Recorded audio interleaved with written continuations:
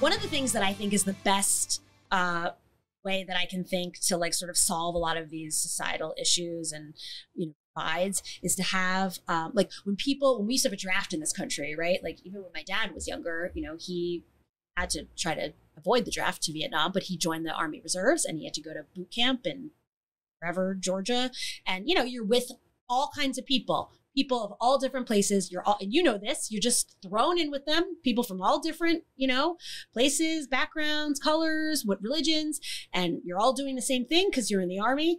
And, um, and and you're exposed to people right you're you, you start to see the humanity in all the different people Yeah. outside of your own bubble from the community that you grew up in so if and i i'm not i'm not saying we need to have a draft but i think if we could have some and israel has this or we could have some kind of program in this country where for example, kids graduating high school have to do like a year of some sort of public service. And maybe that means teaching in a school, maybe that means joining the army, the park service, Right. uh, you know, working at a uh, whatever it is, whatever Right. you want to do, right? Like this is a way for you to get experience doing something, being exposed to different people, having like training, um, and mixing people up. Yeah. We got to mix people up in this country because everyone is so, especially now, Yeah. we're so in our bubbles, in our communities. We only see the faces around us. And if those are only white faces, if those are only black faces, we, we're not, we don't, we're not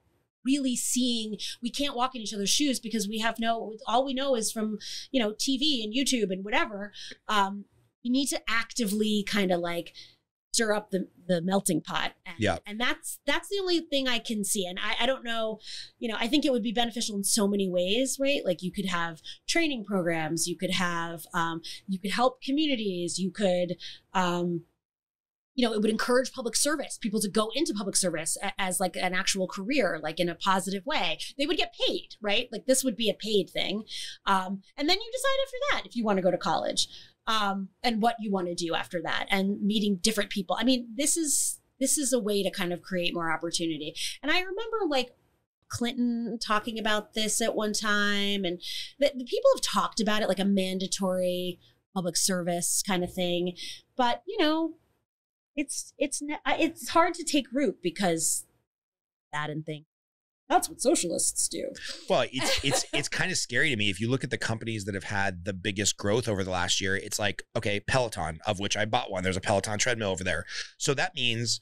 If I work out at home, I can pick the instructor that looks just like me. Yep. I never have to go to the gym. I never have to interact in the locker room with somebody who's poorer than me or richer than me or looks Right. different than me, right? Right. Then you look at Facebook skyrocketing valuation. Cool. Facebook's all about putting you in your echo chamber and confirmation Yep. bias. And then you look at Apple, and Apple's like, oh, I'm going to completely distract you from the real world Yep. and put you on your phone 24 7. I mean, it's crazy. It's crazy. It's crazy that, and what's funny is I think it affects wealthier people more than socioeconomically challenged people because you can basically, as you mentioned, you know, Amazon Prime and everything, you can opt in into your own bubble and be completely taken care of Yep. now Yep. and that's that's really scary because I, I remember you know i was in fort riley kansas um, when i was in the army from 97 to 2000 and i honestly truly cannot remember all but like one incident that kind of fired up because of any type of racial tension. And on my floor, it was like 50% black, 50% white.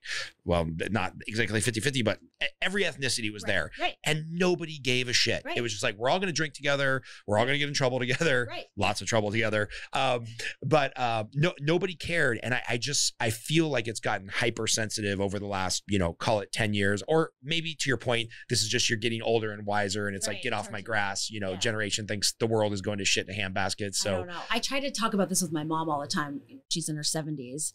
And she'll be like, well, you know, I mean, I did live through like an Amor and the Nixon years. And she's like, things were pretty shitty right. then. And people Yeah. didn't trust the government and they didn't trust the media.